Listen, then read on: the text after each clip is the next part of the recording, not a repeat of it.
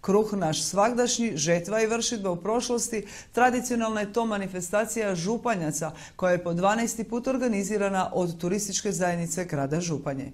Ovo je jedinstveni prikaz života slavonskog seljaka koji sa svoje dvije ruke radio teške poslove. Ručna košnja pšenice samo je jedna od tih poslova, a koja je danas svim zainteresiranima prikazana na ilinom i rezinom stanu. Žetvena jela, odjeća, poslovi vezani uz žetvu, okosnica su ove manifestacije. Uvjerila se u to i naša Helena Spahić. Nema kruha bez brašna, a ni brašna bez pšenice. To ipak najbolje znaju naši stari koji u prošlosti nisu znali za strojeve, već samo za svoje dvije ruke s kojima su sve stvarali. Danas je pak rijetko ili gotovo nemoguće vidjeti ručnu vršidbu pšenice. Mi smo je ipak vidjeli i to na ilinom i rezinom stanu koji je po 12. put stanica svima koji žele uživati u starom načinu žetve i vršidbe. Kosti su normalno kosili, žene rukovedaju, imaju snopari koji vežu, djeca koje donose vodu tako, ali sve to se moralo raditi po najvećoj vrućini. Radimo, rukovedamo, žito kosimo, radimo, sa srpom kupimo, uzice vežemo, vruće, pa prije se radilo po najgore vrućini. U dva sata smo se mi dizali i radili.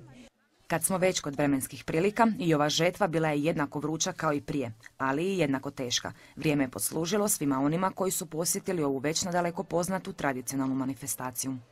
Vidjeli smo prikaz žetve i vršitbe u prošlosti i vjerujem da ćemo ovu priču i našu tradiciju nastaviti. Ne, ovo je već 12. godina i drago nam je da je ove godine su se pojavili i gosti iz Brazila, i gosti iz Kine, i gosti iz Japana. Ali domaći, koji iz godine u godinu sve više uvažavaju tradicijski prikaz. Možda ne u tolikoj mjeri koliko je očekivano napomenuto je. Neki su okušali ručnu košnju, kao i županjski gradonačelnik. Mislim da je ova manifestacija iz godine u godinu sve kvalitetnija, sve bolja i bolja. Mi znamo kakva su vremena oko nas, ali evo naša turistička zajednica, ona županska turistička zajednica na čelu sa Mirkom Bačićem i sa ekipom entuzijasta iz godine u godinu sve bolje i bolje to organizira.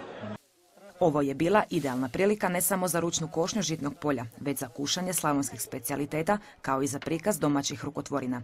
Izletnički vlak Žetelac Ekspres i ove godine dovezao sve zainteresirane za žetvu i žetvene običaje. Prikaz života seljaka poprima sve veće razmjere u razvijanju kontinentalnog turizma. Ako ovakva manifestacija nije dokaz, onda zaista ne znamo što je.